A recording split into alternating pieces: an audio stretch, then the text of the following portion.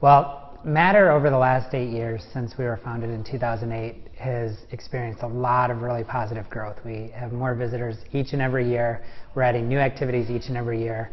And so for a while now, we've been looking for an opportunity to dramatically increase our space so that we could do more for more people. And so when the opportunity to move into 210 Jones Street became available, it was just like kismet. It was, you know, we were looking for the opportunity, it became available, it, it was affordable for us, and it allows us to significantly increase what we're doing and the number of people that we can accommodate. So we're hoping that it really creates some positive uh, energy and, and impact for the community. One of the first things that we're really, really excited about is this will be the first location that's basically a blank slate and that we can design based on what we want to do and design it around our programs. Every location we've been in up to this point has already pretty much been built out, and so we've had to kind of reconfigure our programs to fit into the space.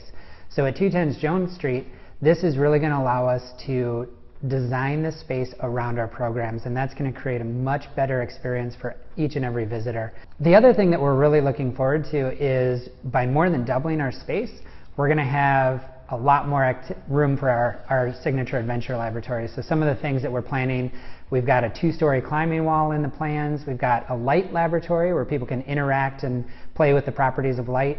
we are doing a special area just for three and under, and so families that have toddlers can come, have a place where their toddlers are going to be engaging with activities that are appropriate for them, but can still have clear sightlines to all of their other family members as they engage in activities around the center as well. Great. I have been coming to Matter, my family has been coming to Matter for the last couple of years since we've moved back to town. Um, and it has been an amazing experience for us because every time we come into Matter, there's something new and creative and every experience we have with our young family is different it's open-ended and this new space is going to just be a real a great way to showcase how open-ended the activities are and you're going to be able to really come in and experience constant change and it's going to offer so much more flexibility in one area so it's going to be able to evolve constantly which is really exciting for the program I think the combination of things that this organization achieves is it's trying to really bring together the arts and the sciences um, and and be a creative experience for all ages.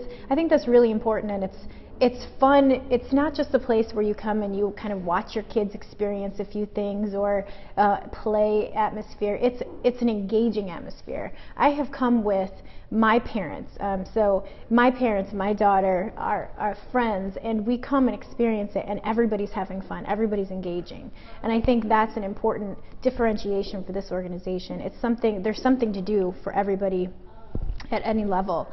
Um, I think one of the the things that personally draws me in is I work in a technical and creative field. So coming here, it's bringing together the arts and the sciences, which is a really welcome outlet um, for me personally. So if I'm, you know, kind of need to recharge in a creative and technical sense, this is a great place to come to. So it kind of brings that innovative spirit back to you if you if you if you kind of need that replenishment. So I, I think it's it's something that is going to continue continually appeal and be applicable in people's lives.